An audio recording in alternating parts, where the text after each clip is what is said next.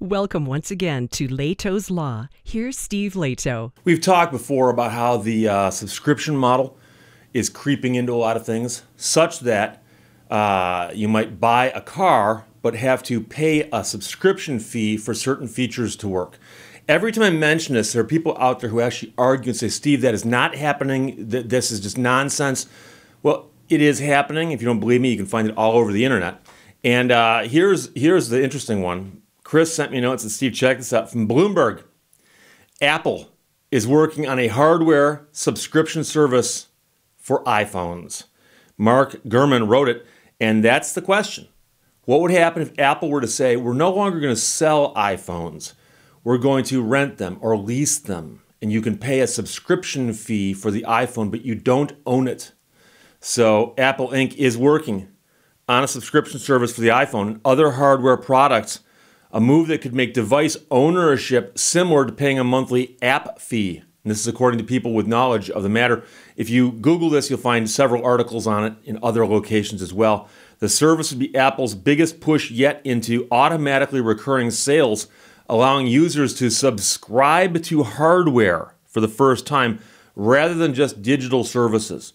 But the project is still in development, and uh, the people who were talking about this asked not to be identified because the initiative hasn't been announced yet. Apple shares climbed to a session high after Bloomberg reported on the news because a lot of stockholders think, oh, this will be printing us money. And uh, they closed up 2% though the stock is still down 2% for the year. Apple has now posted eight straight days of increases, which is its longest streak since November.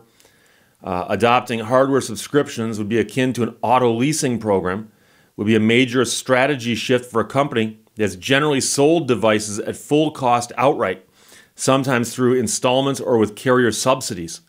It could help Apple generate more revenue and make it easier for consumers to stomach spending thousands of dollars on a new device. Uh, already, the iPhone is Apple's biggest source of sales, generating nearly $192 billion last year, more than half of the company's revenue. A spokesperson for the company in Cupertino, California, declined to comment. The idea is to make the process of buying an iPhone or an iPad on par with paying for iCloud storage or an Apple Music subscription each month. Apple is planning to let customers subscribe to hardware with the same Apple ID and App Store account they use to buy apps and subscribe to services nowadays. Um, I actually have an iPad. It's very rarely on camera, but it's actually right here. It's an older iPad, and I only use it as a as a clock a stopwatch so I can glance at the corner of my eye. And if you see me looking this way, that's what I'm doing. I'm looking at the clock to see how long I've been talking for. I also do a show on My My TV, and I put a normal clock on that so I know what time of the hour it is. And one of the most annoying things is, is I've only used it for that purpose for the last five years. It's all I've used it for. I literally shut it off at the end of the videos, and, and the next day I come back in, turn it back on. And every single day during the show, this warning pops up and goes, please re enter your Apple ID. I'm not even sure if I have an Apple ID or if I did what it was, but I can simply say no and it goes away. But it pops up every single day and it's annoying. and I'll admit, I'm not an Apple guy. It's the only Apple thing I own. It's the only Apple thing I've ever owned, as far as I know. And it keeps telling me I need to re enter my Apple ID, even though I own it outright and all I'm using it for is a clock.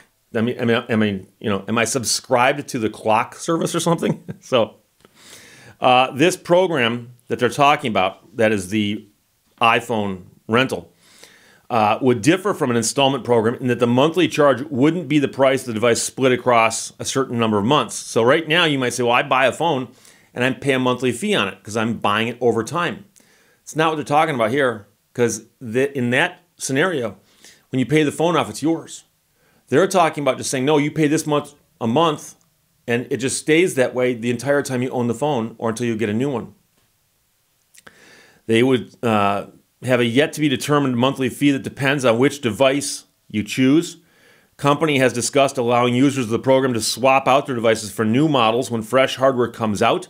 The question is how easily will they let you do that? So let's suppose you started leasing uh, you know, renting an iPhone and they announce a new phone like two months later, can you very simply just go, oh, I want that one now? Could you, could you do that? Or will they lock you in for a certain number of months? Uh, historically, Apple releases new versions of its major devices, including the iPhone, iPad, and Apple Watch, about once a year. About once a year. Apple's been working on the subscription program for several months, but the project was recently put on the back burner in an effort to launch a buy now, pay later service more quickly. Nonetheless, the subscription service is still expected to launch at the end of 2022, but could be delayed into 2023 or end up getting canceled if too many people complain. Bloomberg reported last year that the company has been working on a buy now, pay later service for all Apple Pay transactions. Companies had preliminary discussions internally about attaching the hardware subscription program to its Apple One bundles and Apple Care technical support plans. Apple launched the bundles in 2020 to let users subscribe to several services, including TV Plus, Arcade Music, Fitness Plus, and iCloud storage for a monthly fee. The subscriptions would likely be managed through a user's Apple account on their devices, through the App Store, and on the company's website. It would likely also be an option at checkout on Apple's online store and at its physical retail locations.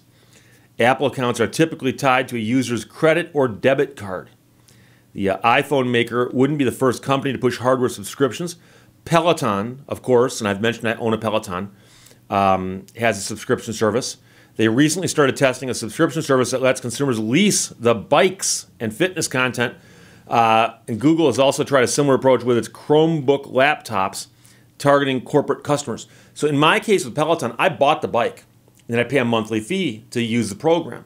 But apparently they've also now said, well, if you don't want to spend all that money on the bike, we'll get the bike to you and you just pay us a monthly fee to use the bike for however long you want to do it.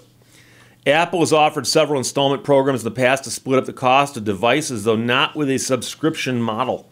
In 2015, the company launched the iPhone Upgrade Program, financed through Citizens One personal loans that let users spread the cost of an iPhone over 24 months and upgrade to a new model every 12.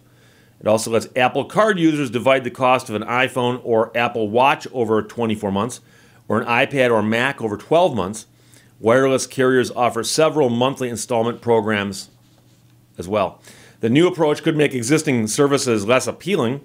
A subscription program tied to an Apple account would likely be simpler to manage than a carrier program or even the installment plans to the Apple Card. Some on Wall Street have previously urged Apple to switch to a subscription model. Uh, one analyst pitched the idea of hardware subscriptions in 2016, saying at that time that it could help Apple get to a $1 trillion market valuation. Apple hit that milestone without going to subscriptions. It's currently worth 2.84 trillion, but the uh, analyst recirculated his report on Thursday. Compared with Starbucks coffee or a New York Times subscription, the iPhone is a bargain, he said. Many customers would struggle to think of a single possession they use more than their iPhones. Moreover, the cost of the iPhone is a relative bargain compared to other services for which consumers willingly pay. But the question is, how many services will they willingly pay for before they finally start pushing back? And I think that it's much harder to take something that has been a traditional ownership product and say, okay, now we're turning that into a subscription. Um, I think with software, more people kind of understood it. And I'll tell you right now that this video that you're watching was edited using Adobe Premiere. And I've used Adobe products for years simply because I like them and I got to know how to use them. And so I'm not a wizard with Adobe Premiere, but I use it and it is a subscription model. Now, I have Adobe Photoshop that I had the full blown model of it before they went subscription. And I still have that. But updates and things of that nature are going to cost me if I want to use it. I don't use Photoshop that much anymore. But I use the Adobe Premiere and I pay a monthly fee for that. And somehow it makes sense to me that a software program like that might be subscription based because, among other things, they're constantly updating it, constantly. And I mean, you know, that's one of the things. Think how often software gets updated, and that's because the developers are constantly working on it. And so, if they were to sell it to you and give you the upgrades for free, which I know they did in a long time, you know, in the, in the past, uh, that's one thing. But for them to just say, no, pay us this fee on a monthly basis, and the upgrades are just included in that fee, that makes more sense to me. But when it comes to a product, now I understand people lease automobiles, they'll lease a car. So they have a car for 24 months, the end of the lease, they turn it back in, or they buy out the lease. But either way, they, they, they, they, have this thing where it's like I'm paying for something that technically I don't own, but I get to use it. But I think there's going to be a much, much bigger pushback on phones uh, for two reasons. One of which is they've always been something you could buy. And so you have to get people to get into the paradigm of this is now something that you subscribe to, but you don't own it. But the bigger problem I think with a phone is I think it's so personal that most people view their phones as something very, very personal. And when the guy who's the analyst mentioned how much people like their phones, revere their phones, uh, it's, it's actually very, very intimate when you consider your phone. So you have a cell phone that you use to make phone calls back in the old days. And over time, it has taken on more and more tasks as part of your life. People can email you, they can text you, they can message you, you can surf Facebook, you can surf the internet, you can run all kinds of apps on it, you can watch videos on YouTube on it. There's all kinds of things you can do with it, but a lot of it is personalized to you.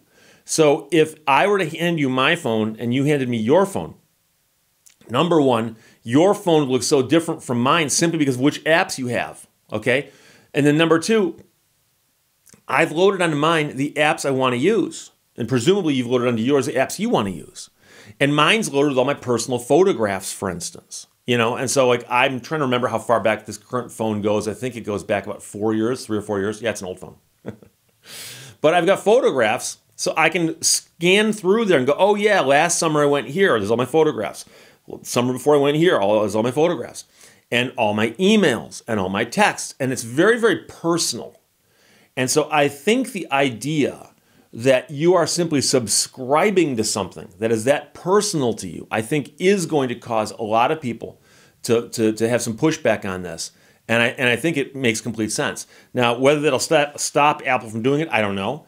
Apple has one of the most loyal groups of consumers who support them that have probably ever existed in the history of consumerism.